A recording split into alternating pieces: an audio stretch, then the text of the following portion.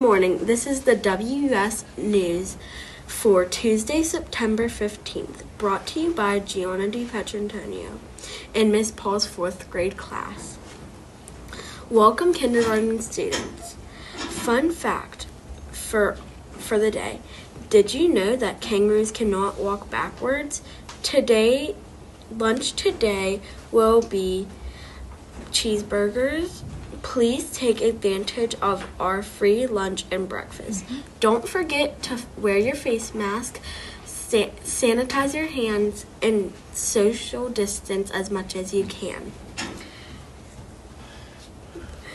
Are Weirton Elementary School family safe? We hope everybody has a fantastic day. We wish our hybrid students and our West Virginia virtual students well today. WES Strong, please stand for the pledge. I pledge allegiance to the flag of the United States of America and to the republic for which it stands, one nation, under God, indivisible, with liberty and justice for all.